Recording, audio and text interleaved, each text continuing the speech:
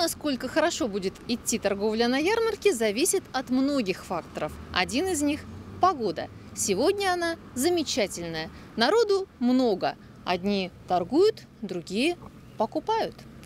У всех хорошее настроение.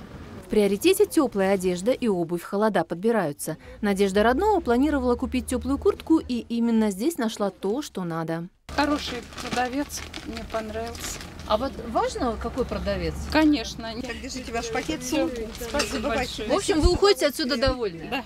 Светлана Нарышкина, продавец опытный, знает, что в тренде именно в этот сезон. Я выбираю самые красивые, качественные модели. Чтобы таких моделей ни у кого не было. То вот эти куртки только у меня, больше ни у кого их нет. А чье производство? А, Китай, фабричный, хороший Китай, хорошие бренды. У Елены Мансуровой свой подход. Она нацелена на покупательниц старшего возраста.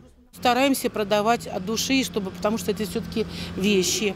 Вот, а вещь, она несет определенную энергию. И чтобы люди чувствовали нашу добрую душу, нашу энергию, носили с удовольствием и были счастливы. Поддавшись всеобщему примерочному настроению, я тоже решила прикинуть несколько вещей. По-моему, неплохо. Ну как, Кирилл?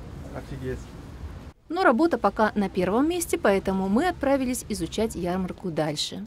Когда идешь по советскому проезду, то не видно, что торговые ряды располагаются еще и здесь, внизу. Хотя ярмарка начинается именно в этом месте. Организация – важный момент. Чистота и порядок, места для размещения информации и даже палатка для детей. Здесь можно скоротать время, пока родители увлечены покупками. А увлечься есть чем. Запахи непередаваемые. Мы из Тверской области, деревня Завидово. Привозим мясо, фермерские изделия различные. И Кормить. даже даете попробовать. Конечно, да. Дайте попробовать. Да, без проблем. Давайте я вам наряжу, скажем, гуся. Гусь это наш бестселлер, уходит лучше всего. Вся наша продукция очень натуральная, очень вкусная, а самое главное полезная. Угощайтесь. Ой, спасибо. А вот еще я у вас увидела необычный такой сыр. Кто же его раскрасил?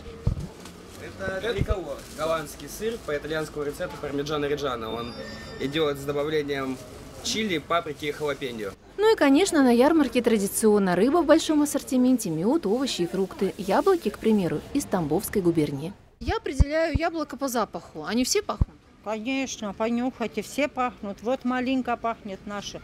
И это медовый хруст, э, Антоновка. Все-все наши домашние вкусные яблоки. Мы каждый год много продаем.